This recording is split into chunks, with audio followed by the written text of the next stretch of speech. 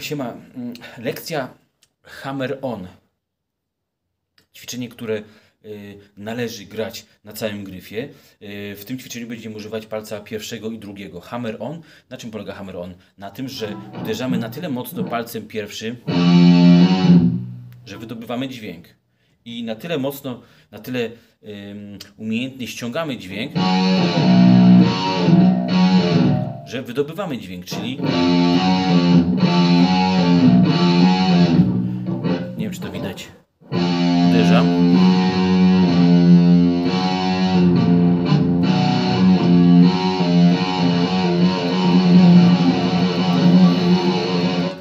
Na tyle to robię mm, dokładnie w wolnym tempie, że po prostu ja nawet nie muszę tylko kostką uderzać.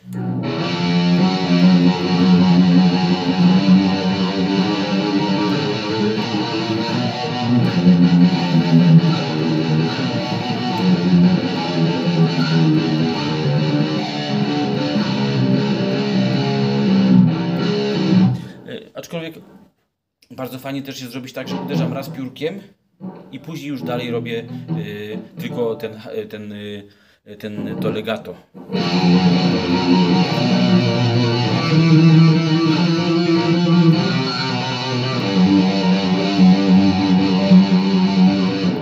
Bardzo ważne jest to, że tutaj się szybko palce męczą. Pierwszy drugi palec. No, teoretycznie najmocniejsze dwa palce, ale po prostu tu używamy tylko do, do grania dy, dy, dy, dy, dy, dy, dy, technika legato.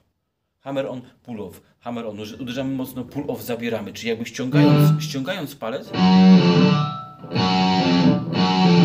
wydobywamy dźwięk. Ważne, żeby pierwszy palec leżał też na, przy, na całym gryfie, bo nie, że tylko powiem wybrane dźwięki,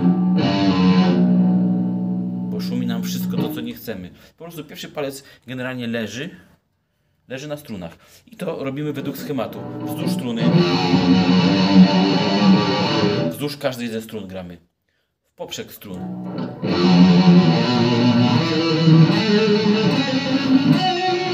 I po przekątnej.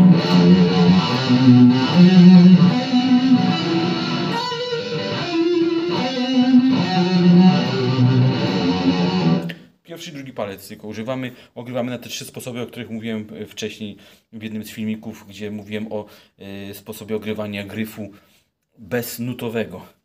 Trzymajcie się, ćwiczcie koniecznie i do zobaczyska.